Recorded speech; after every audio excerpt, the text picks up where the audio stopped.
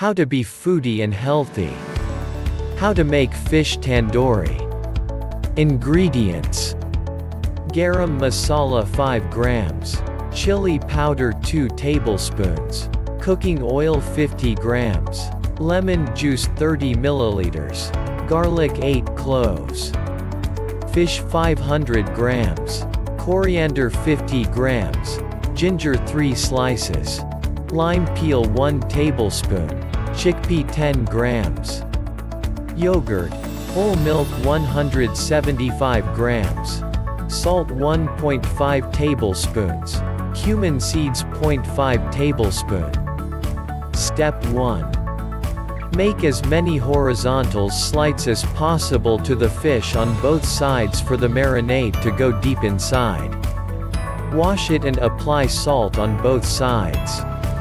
Step 2. In a bowl, mix together all the marination ingredients together including curd, onions, green chilies, tandoori masala, ginger. Step 3.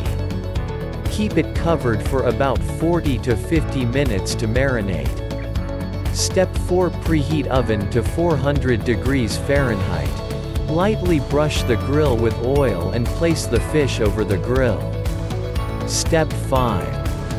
Place the grill on the baking tray and bake for about 20 minutes or until fish cook through. Step 6. Serve hot. Subscribe. Like. Comment.